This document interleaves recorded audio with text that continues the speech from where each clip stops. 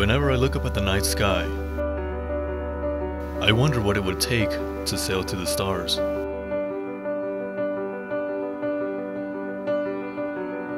Do I need a ship? Do I need a telescope? Or maybe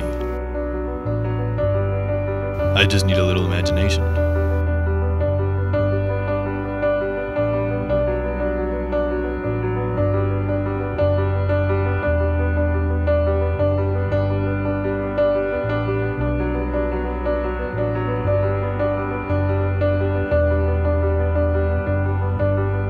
The UTPA Planetarium offers uh, live night sky presentations that we can cover planets, constellations, and other deep space objects.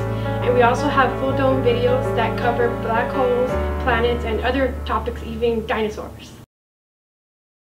Besides being open here at the planetarium on Tuesday nights, we have a telescope observations by the Physics and Geology building. And as long as the weather's good, they take out telescopes that look just like this one, and they're able to show different deep space objects and other objects that are in the sky. My personal favorite show is actually called Back to the Moon for Good. It's narrated by Tim Allen and it goes through all of the past uh, lunar explorations and it also talks about the Google Lunar X Prize, which is currently going on. Uh, so there's a lot of information there and a lot of current space exploration.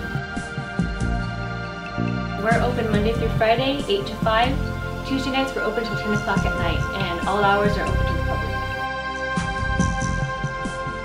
They can find out usually online at utpa.edu slash planetarium. We also have a Facebook page that they can check out or they can just call us here at 956-665-7088.